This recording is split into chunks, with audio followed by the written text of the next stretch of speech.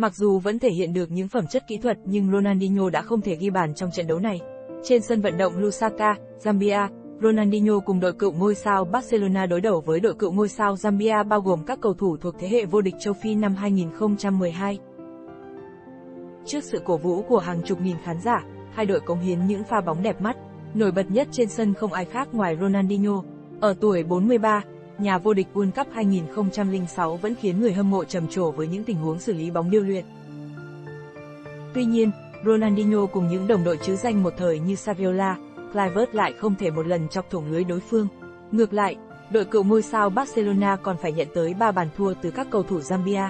Đáng chú ý, những phút cuối phía Zambia còn tung vào sân một thủ môn có thân hình quá khổ. Nhưng trái với với vẻ ngoài có phần nặng nề, thủ thành này phản xạ khá tốt để nhiều lần giúp đội nhà giữ sạch mảnh lưới. Thủ môn Zambia cản phá xuất sắc. Hình ảnh một thủ môn được gọi vui là bụng bia, chiến thắng trước các cậu danh thủ Barcelona đã gây xôn xao dư luận.